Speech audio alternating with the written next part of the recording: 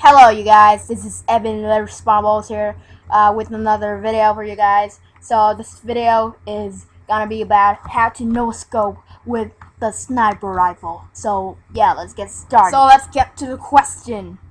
What do you want to do when you have a shotguns right behind you? You don't know what to do. So you would rather quick scoping or run. But I got the other idea. Just go too close to enemy and boom! No scope him. Let's watch this other example. I get close to Vulcan Dynamite.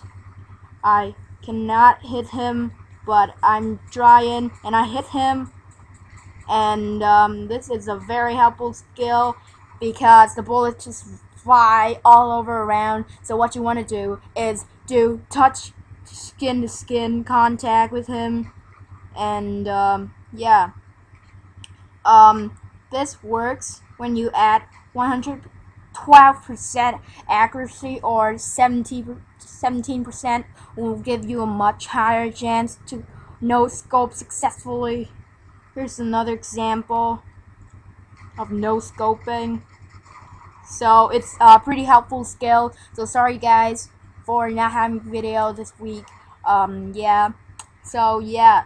Bye, you guys. See you guys in the next videos. Until next time, this has been Evin the Respawnables. And I'll talk to you guys later.